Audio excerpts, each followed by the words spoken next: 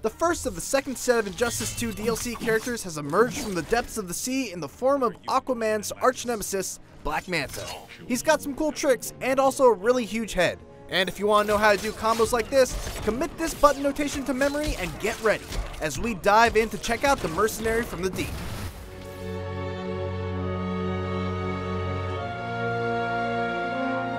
First, let's check out his special moves. Manta Rays is a clever pun, but also a short-range beam attack that can be used to punctuate combos. Manta has several ways to do this, but Manta Rays will keep the opponent standing at about the range where Manta is the most effective.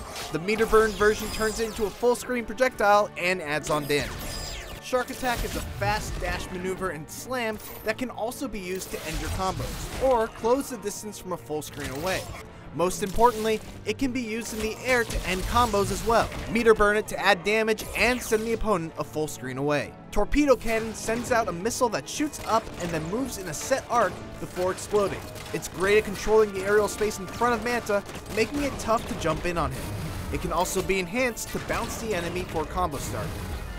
Rising Tide is a Sektor style uppercut that is super unsafe on block, but it can be a great move to punish predictable projectiles and it can also be enhanced for a combo starter. And finally, Manta's Harpoon is a damaging projectile that hits from full screen, pulls the enemy close, and then sends them away. It can be fired in the air at an angle, and you can alter that angle by holding down. It can be meter burned for extra damage, and is ultimately Manta's most damaging combo enemy. We should also talk about Manta's trait, which is a jetpack that gives him fully controllable flight for as long as he still has fuel. It can be used in a variety of ways, from safely navigating over projectile spam, to continuing aerial juggles, feinting jump-ins, and so on.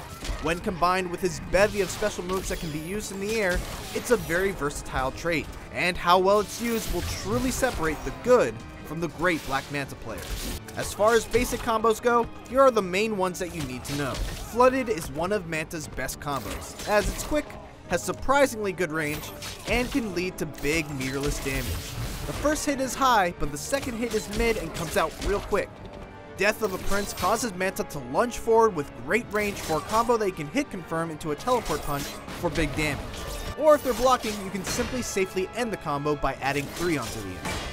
Hunting the Others is a 4-hit combo that ends with a low-hitting knockdown, which allows you to mix it up by using a bounce cancel after the third hit by hitting forward forward right trigger. And finally, Scarred Scavenger is a 2-hit combo that starts with a low and ends with an overhead.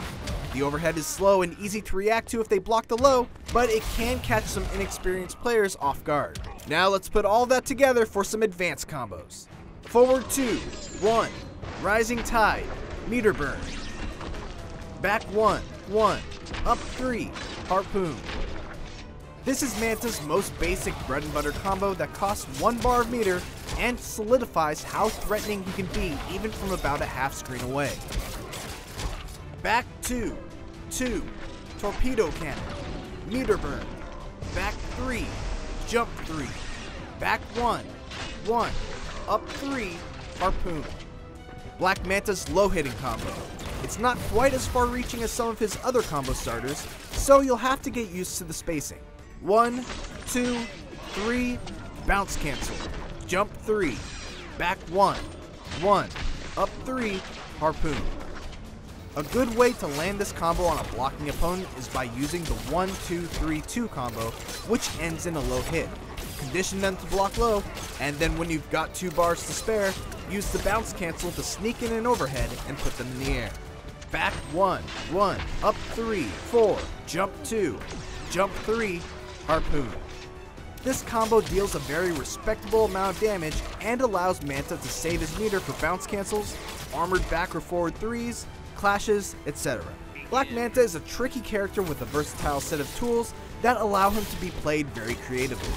His combos might not be the most damaging in the game, but his range is extremely deceptive, with combos like his forward 2-1 that allow him to quickly get in and enforce his game plan. Combine that with a trait that gives him fully controllable flight, and special moves that allow him to completely control the aerial space, and you've got a very dangerous character when in the right hands. Hopefully this video has helped you get a better understanding of Black Manta and Injustice 2. If it did, why not check out some of my previous videos like these for Sub-Zero and Red Hood. I'm planning on covering all the DLC characters, yes, Starfire too, I know I missed her, so be sure to subscribe to IGN for all of this and more. I'm Mitchell Saltzman, you can find me on Twitter at Jurassic Rabbit, and I'll see you next time.